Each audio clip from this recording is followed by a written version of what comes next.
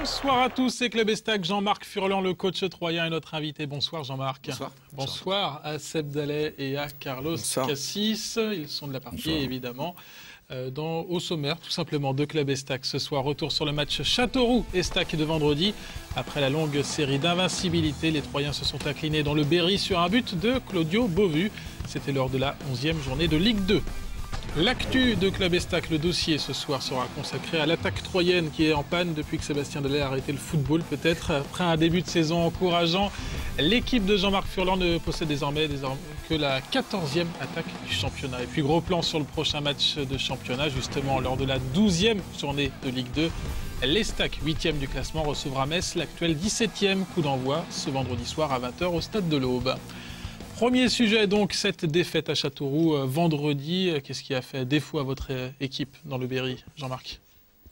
Certainement euh, la coupure, certainement aussi le, fait qu'il y ait eu une très très grande concentration de la part des joueurs pour faire un, bon début de saison. Cette coupure, euh, voilà, avec euh, des joueurs qui, avaient, qui avaient subi, euh, c'était pas, c'est pas facile, beaucoup de joueurs qui étaient euh, fatigués. Donc euh, ce qui nous a fait défaut sur le match, analyser le match, c'est l'efficacité offensive, parce qu'on a eu de, de nombreuses occasions et que, que voilà, on n'a pas su concrétiser. Comme souvent de- depuis le début de saison, Oui, on en oui, mais, j'ai confiance. On va, je sais que vous avez voulu en parler, mais j'ai confiance. Bon, Seb, l'Estac n'avait plus perdu depuis la deuxième journée et ce match à, à Lens. C'est dommage. Ouais, c'est dommage. Maintenant, euh, toute série a une fin. Je crois que euh, quand on voit le début de saison de, de l'Estac, euh, on peut pas, on peut pas se plaindre énormément aujourd'hui. Euh, voilà, toutes les bonnes choses ont une fin malheureusement. Ce qui est, dommage peut-être, c'est de perdre euh, sur un match que une fois de plus l'Estac a, a dominé. On le voit euh, avec les images et le nombre d'occasions. Voilà, il y a plusieurs choses qui ont fait que, et puis, et puis c'est des fois c'est peut-être mieux de perdre un match pour en gagner plusieurs derrière. Non, tout à fait, c'est la frustration, surtout que les joueurs étaient très très frustrés, on tous, la délégation était très frustrée parce que, en fait, c'est un match que, l'on maîtrise. Et on doit arriver à grandir de façon à ce que les matchs que l'on maîtrise, où on n'est pas forcément au mieux tout de même dans l'efficacité défensive ou offensive, on doit pouvoir revenir avec des points, ce qu'on avait fait depuis la saison. Voilà, là, il y a eu euh, peut-être un petit manque de réussite aussi pour, pour, pour, pour, pour, par exemple, Sébastien Grax, qui est, voilà, un petit manque de réussite. euh, c'est la frustration sur ce match-là. Sur ce match-là, on a peut-être retrouvé l'Estac de la saison passée, au niveau de la finition peut-être? Le match était plutôt bien maîtrisé. Oui, oui, on a, oui, on a retrouvé dans, dans, dans, dans, dans le- un peu ce qu'on a, euh, qu'on a connu la saison passée avec des matchs maîtrisés sans, sans efficacité, alors qu'à l'heure actuelle, euh, jusqu'à jusqu'à maintenant, on avait réussi à, à claquer des buts.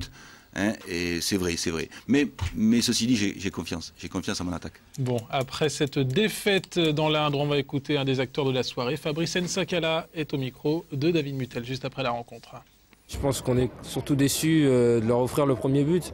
Bon, je pense qu'on aurait pu aussi bien réagir, euh, surtout en seconde mi-temps. On s'est créé quelques occasions, mais bon, on n'a pas su quand même concrétiser et je pense que quand même c'est une grosse déception. Ils ont su aussi euh, faire des phases de jeu. Je pense que sur les occasions, on les a pas beaucoup vues à part sur le but, mais bon, c'est quand même, euh, on est content pour eux. Bon, on est content pour eux. C'était une phrase euh, vraiment d'après-match, je C'est un, pense. c'est un hein. jeune pro, c'est un jeune pro. Carlos Ouais, non, non, moi je voulais demander à Jean-Marc, euh, parce que j'ai pas eu l'occasion de le faire encore, il parle de coupure euh, qui a été préjudiciable, Pe- peut-être, moi je me dis, mais euh, est-ce que le fait que justement qu'on n'ait pas trouvé de match amical, que ça a fait, ça a vraiment amplifié cette coupure, alors que par exemple Châteauroux a joué contre Clermont en amical, donc il, a, il a gardé ce rythme d'un match par semaine. Est-ce que ça n'a pas été Non, un peu doute, préjudiciable euh, On peut gérer. Il y a plein de clubs en ce moment, Ligue 1 ou Ligue 2, qui gèrent sans, sans, sans rencontre amicale dans coupure. Il y en a plein. Les, les jeunes entraîneurs maintenant ne font très peu de matchs amicaux. C'est pour ça qu'on n'a pas trouvé d'ailleurs. Euh, je pense que c'est mieux. Certains joueurs doivent se reposer, certains joueurs ont besoin. On le voit dans nos, deux, jeunes, euh, Djibril Sidibé et Fabrice Nsakala, qui, est parti 10-12 jours avec la sélection et qui a eu zéro minute de jeu, ça lui a été euh, préjudiciable. Et, c'est pareil pour Djibril, il y a 4-5 joueurs qui auraient mérité d'avoir un, match dans les jambes, et, et d'autres, ont besoin de se reposer également. Ceci dit, sur la rencontre, voilà, c'est difficile d'imaginer qu'on on revienne de Laval et de, Amiens ou de Guingamp avec un nul, et, et al- et alors qu'on a eu parfois des, des actions moins accomplies, moins abouties, et pas, pas de Châteauroux. Il y a aussi dans le football, dans le sport, une part de non-réussite. Il y a eu un manque de réussite flagrant quand même aussi à, à. Le but de Beauvu, c'est pour l'anecdote, ça fait encore plus mal. C'est l'histoire du foot. À chaque fois, je sais que depuis que je joue, depuis l'âge de 15 ans qu'on joue au foot, les supporters partout, j'ai fait 14 clubs en France, tout le monde dit ah oui, mais celui-là qu'on a prêté, celui-là qu'on a qu'on a vendu, il nous marque un but contre contre. C'est l'histoire du foot, ça. Euh, je crois surtout ce que j'ai dit aux garçons, c'est qu'il fallait marquer deux buts. Euh, c'est surtout qu'il fallait, il fallait marquer deux buts parce que euh, voilà, Claudio, on, l'a vu se mettre en évidence sur une action, c'est là, et voilà.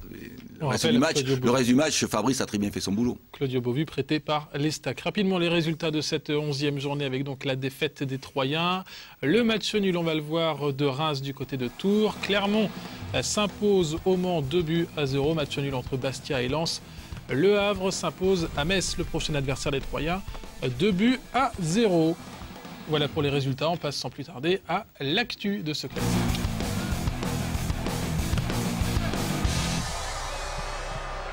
10 buts en 11 journées de championnat. L'actu, c'est le coup de panne de l'attaque troyenne. La meilleure preuve, ce sont les trois derniers buts du club troyen inscrits par Xavier Thiago, le milieu de terrain. Jean-Marc, c'est le plus gros chantier aujourd'hui. Je sais que vous adorez ce sujet.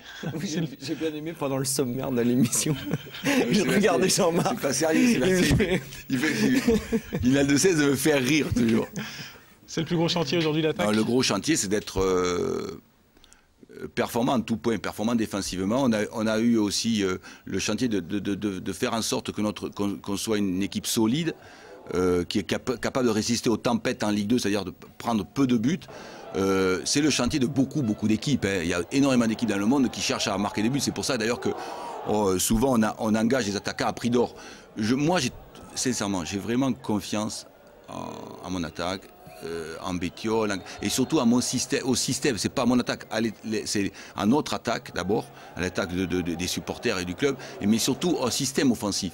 Parce qu'il ne faut pas pointer du doigt, je vous en prie, pointez, pointez pas du doigt le fait euh, qu'il y a Caceres, qu'il y a Gras, qu'il y a Bétiol, qu'il y a, voilà, qu'il y a Marcos, etc. C'est surtout notre système offensif.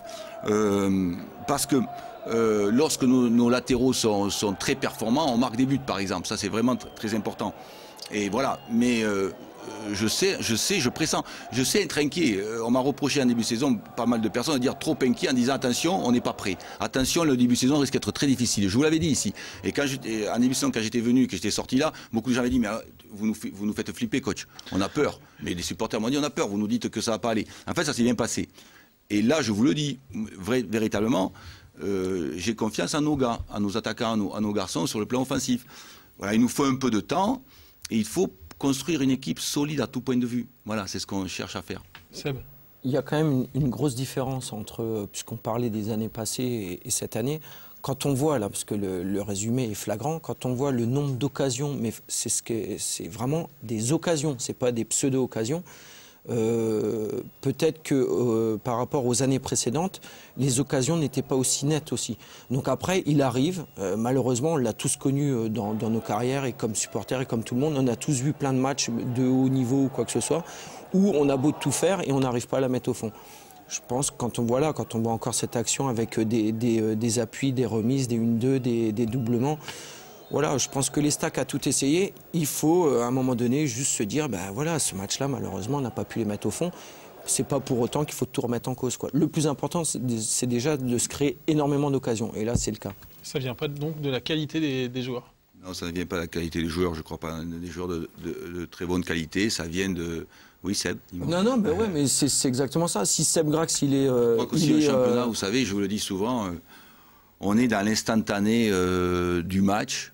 Je pense que quand il faut, euh, il faut pas se contenter juste d'analyser chaque rencontre. Il faut prendre du recul, savoir quel est notre potentiel, regarder le potentiel qu'on affiche aussi dans, euh, à domicile, etc.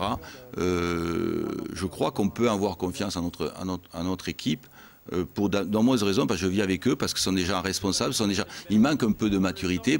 Je, je regardais tout à l'heure le reportage de l'équipe qui, qui, est montée en 2004-2005. Et je disais à Sébastien, mais une équipe qui avait 27 ans, 28 ans de moyenne d'âge. Cette année, on a une équipe qui a 22 ans et demi, 23 ans de moyenne d'âge. Et, je, pense qu'on peut arriver à nos fins totalement et, avoir une équipe euh, très efficace sur le plan offensif. Il faut du temps, donc euh, notamment pour euh, Sébastien Grax. Les entraîneurs réclament toujours du temps, hein. c'est un, un, peu de temps.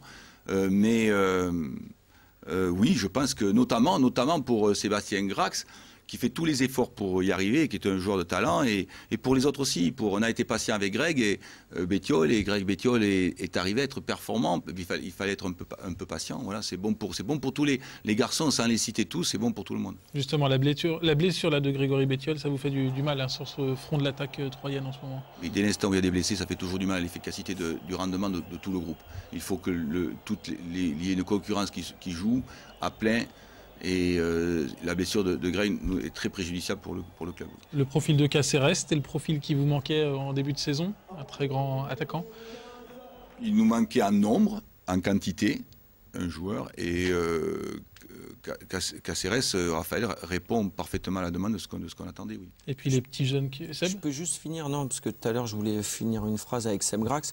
Quand on voit le match de Châteauroux, par exemple, si euh, Seb n'avait pas euh, connu euh, quelques pépins ou l'expulsion encore cette année avec quelques matchs dans les jambes, ce match-là, il peut marquer trois buts et il l'a déjà fait. Donc voilà, donc ça, joue vraiment un peu Lorsqu'on voit le match Châteauroux, il a raison, Sébastien, c'est que moi j'avais déjà des, des, amis qui sont venus de Bordeaux, ils m'ont dit bon, voilà, lui il est au-dessus. Quand ils ont vu le match, lui il est au-dessus. Bon, il a manqué un peu de réussite parce qu'il n'a pas assez de, de temps de jeu dans les jambes. Et puis il y a les petits jeunes qui poussent. Hein. Je pense à Momo Camara, qu'on avait vu titulaire lors de la dernière rencontre. Ça, c'est le profil aussi de joueur qui vous intéresse pour l'avenir Tout à fait, pour l'avenir. Il faut, euh, le, club a besoin d'un fort potentiel de jeunes pour euh, exister tant sur le plan sportif que sur le plan économique. Il faut le savoir. Et c'est de ma responsabilité, je vous l'avais déjà dit quand je viens ici, d'avoir, de pérenniser le club sur le plan sportif et économique. Et le club a un besoin incontournable de jeunes de très grande valeur. Voilà, ça c'est incontournable pour la vie économique de, l'Estac. Si la formule magique est trouvée en attaque, euh, l'Estac sera la, meilleure équipe du championnat, non? Oui, oui, mais il y a beaucoup d'adversaires qui nous l'ont dit déjà en passé, qui nous faisaient remarquer à chaque fois, qui ne comprenaient pas pourquoi on n'était pas. Euh, voilà, euh, si l'efficacité offensive avait été là, effectivement, on aurait pu prétendre à autre chose, c'est vrai. Seb, vous, l'ex-attaquant, vous sentez ce, potentiel et puis ce, ce petit déclic qui va bientôt arriver? mais moi j'ai toujours été euh, confiant. Euh, il y a déjà un grand pas de fait entre l'année passée et cette année. Euh, je crois que l'équipe a été aussi renouvelée. En tout cas, il y a beaucoup de nouveaux joueurs, des bonnes recrues qui ont remplacé aussi certains joueurs de l'année passée. Je, pense qu'entre l'année passée et cette année, il y a un cran encore qui a, été franchi, un cap. Euh, ce qui est important aussi, c'est la vie du groupe. Aujourd'hui, on a un groupe euh, qui vit déjà depuis plusieurs saisons ensemble. Ça, c'est important parce que quand après on a un entraîneur qui arrive, quand on sait le style de jeu que Jean-Marc propose ou prône, et bien voilà, avec un petit peu de temps, nous à l'époque, comme on en parlait tout à l'heure, 2004-2005, des joueurs d'expérience, on peut peut-être apprendre plus vite et à un moment donné, même si on était dans les derniers à huit journées du championnat du début. Là, aujourd'hui, il faut peut-être une, deux, trois saisons. Mais en tout cas, on voit aujourd'hui que le, jeu, en tout cas, qui est prôné par, euh, par Jean-Marc, aujourd'hui, les joueurs eh ben, voilà, progressent. Ils font euh, des, bons débuts de saison et je pense que euh, ce ne sera plus qu'un bon début de saison et qu'ils feront une année entière, ce qui, ce qui manque aujourd'hui. Mais c'est encore une fois aussi la jeunesse qui fait que il y a, euh, c'est pas toujours euh, parfait. Bon, on verra ça dans, les journées à venir. Messieurs, comme chaque semaine, Canal 32 vous offre euh, des places à gagner ce soir, à, partir de ce soir même. Trois fois de places pour la rencontre face à Nantes le 5 novembre au Stade de l'Aube. Pour jouer, envoyez le mot club. Club. Ça va perturber, Carlos. Le mot club au 71003. Un tirage au sort désignera les gagnants. Pour info, bravo à Denis de Minil-Saint-Père, Jean-Claude de la Rivière de Corps et Mathieu de Bar-sur-Seine qui ont gagné des places pour Estac Metz. Ne bougez pas, on revient dans un instant pour la suite de Club Estac avec notamment les échos de Carlos et l'avant-match. A tout de suite.